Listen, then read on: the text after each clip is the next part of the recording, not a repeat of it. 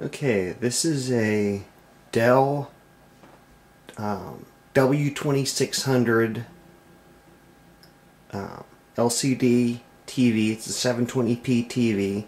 This was a trash find. It does not work. Um, I've already powered it up and it does nothing. It turns on, the LED comes on, that's it.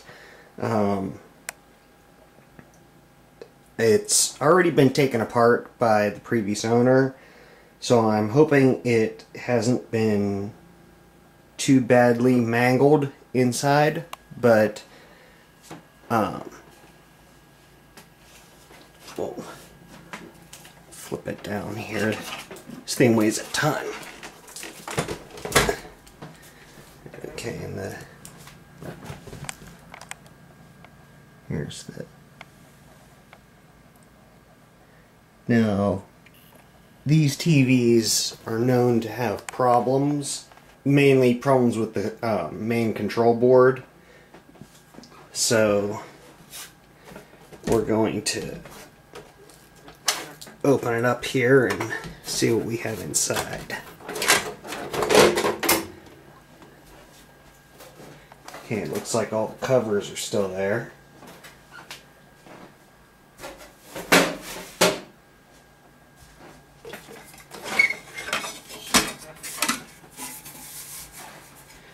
Okay.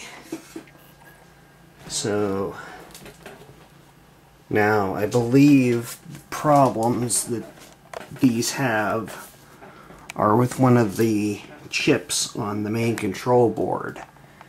And um, it's one of the chips like this.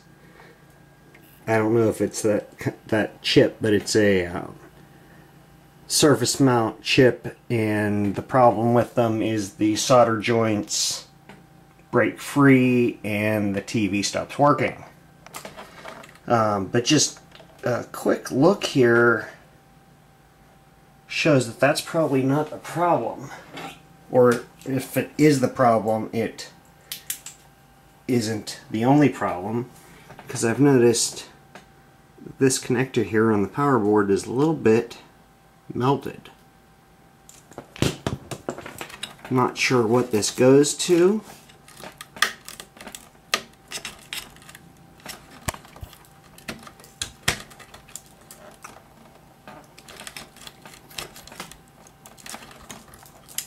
Okay, I'm gonna have to, it's kind of stuck, so I'm gonna have to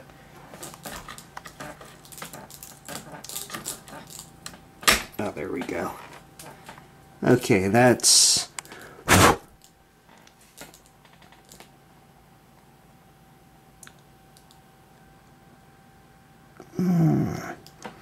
doesn't say what it's for, but we have ground and positive 14 volts. Um, so we're going to power this up with this connector disconnected and see if we can get anything with that. Um, the ground wires look okay, but all of the um, positive connectors are completely toast. Um, I'm not sure where where this goes, we're going to have to do a little bit more dismantling here, it looks like. Because um, this is the power supply, this is the main logic board. Um, we have our AV board over here. Doesn't look like that goes to that. It doesn't look like that connects to any of the other... That doesn't match any of the connectors for that, so it might go to the inverter board. Um, just a quick look here at the power supply board. And we don't appear to have any bulging capacitors or anything. So hopefully the power supply is okay. And um, yeah so I'll get my meter and we'll test that out to see if we're getting the proper voltages on that. And we'll be right back. Okay so we're back. We've got the meter here and power attached and let's power it up see what happens. The power button is broken off So we're just gonna hit it here with this and turn it on.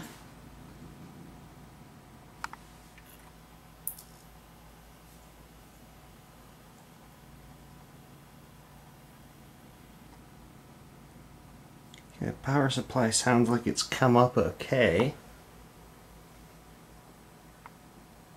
It's not cutting out. Okay, well the power LED is still on. I'm assuming blue means that it's on. So that seems to be okay. So let's check for 14 volts on these. The main boards are mounted on the back of this cage here.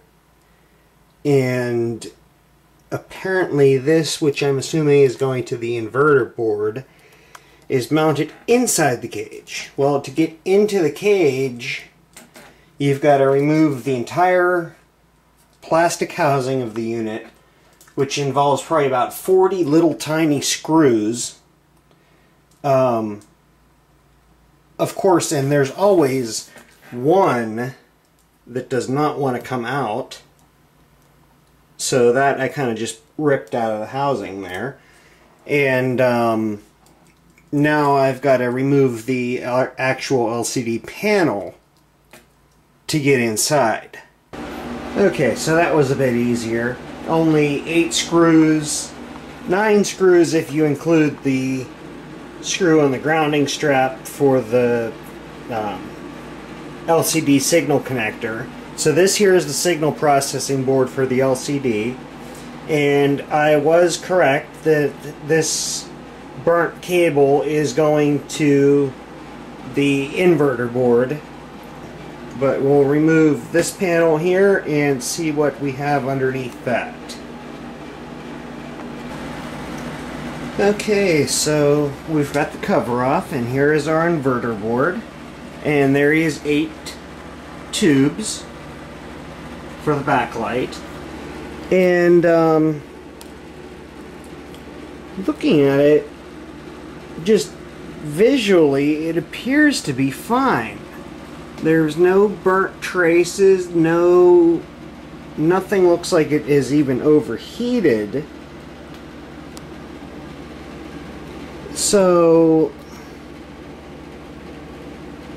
I'm wondering if the whole issue wasn't just a faulty connector.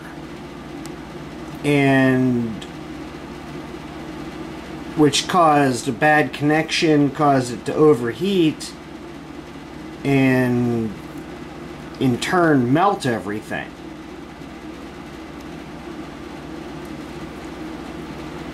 Because I would think if something is, was shorted on the inverter board itself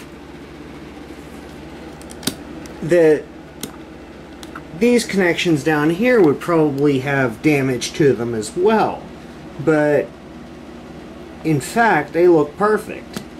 I mean, there's nothing nothing to indicate any kind of overheating or any sort of damage on that. So, I'm going to see if I can somehow either scrape this off, clean it off, do something with it, and possibly try and power it up again after I make sure that there's contact and to see if I can get any response out of it whatsoever. Because I mean, the the unit doesn't turn off, but it's not coming up either. Of course, with the um, display not turning on, with the backlights not coming on, I can't tell if there's any sort of display on the screen or not. Um, so, and as the inverter board is tied into the video processing board, I'm not sure if there's possibly if there's no backlight, then there's no picture, or I'm not sure how the system works. So we're going to see what I can do about that, and we'll be back in a little bit, I guess. Okay, and a little further poking around on the inverter board here, we have four fuses, which are 120 volt, 3 amp fuses, two here, and then two on the other circuit. And just a quick test here with continuity tester. See if I can do this with one hand successfully. Probably not. Oh, there, we got it. The camera will pick up the tone that the multimeter is generating. The fuses, all four, are testing good. So that again leads me to believe that there is not a problem with the inverter board because if there was, if there was a short on the inverter board itself, then it should have just blown those 3 amp fuses because 3 amps is not a lot. Um, but if there is a bad connection and it starts arcing, then 3 amps probably would be, well, it definitely would be at 120, well, it's actually going to be 14 volts. But still, 14 volts at 3 amps is enough if it's arcing to cause this. So, again, I'm back to um, assuming, not assuming, just guessing that the problem is this push-on connector all along. Um, so I'm going to see what I can do about that. And like I said, I'll be back. Um, but before I go, I'll just do a quick... It's actually a Samsung LCD panel. That's a little better. Um, made in Korea. But yeah, so we'll be back. Alright, so I actually put it back together and I have my my 600 watt sun gun blasting right on the screen. And as you can see, there's there is something I can see like color test pattern or something scrolling around on it on the LCD screen. So the television apparently appears to work, it's just the problem is the inverter. We're not getting a backlight on it. Um, so as soon as I can figure that out, we'll have a good working 26 inch 720p TV. Um, yeah, so I'll tear it back apart again. Well, it's not actually together, it's just kind of sitting here apart on the table. But, turn this off. But, I'm now going to go ahead and play with the connector there and see if I can get something to come out of that or figure something out for that to get it working and yeah. So I'll be back when I'm done with that. Okay. Well, I've been thinking and thinking about how to um, to clean and repair this connector and the um, connector on the cable and this connect this the pins on this connector have been heated to the point where they're they feel like they're about ready to break off. So I'm not even going to bother trying to clean them. I'm just going to replace the connector. And I'm going to replace it with this, which is actually um, part of a floppy disk connector from an old Pentium 2 motherboard that I had laying around. So I'm going to solder this in in place of it. The pin spacing is the same. Okay, and one thing that I noticed that's odd about this is that the S-video input and the, I believe it's the, um, yeah, the composite input and the two audio inputs that go with the composite and two audio inputs that go with the S-video input are actually part of the power supply board and tied in with this cable here.